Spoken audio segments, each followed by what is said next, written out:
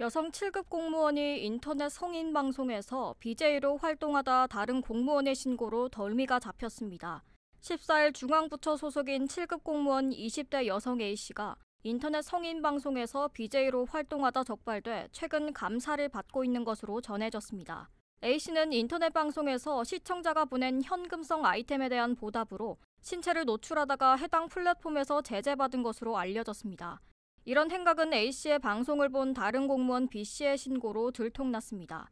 그의 성인 방송을 보고 신고한 공무원 B씨는 1000명 가까이 시청하고 있었다. 스스로 자신이 공무원임을 여러 차례 밝히고 방송했다. 굉장히 당황스러웠고 충격적이었다고 YTN에 전했습니다.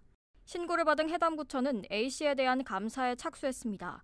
A씨가 직업윤리를 어겼는지 공무원법상 후미유지 의무를 위반했는지 등을 살펴보고 있습니다.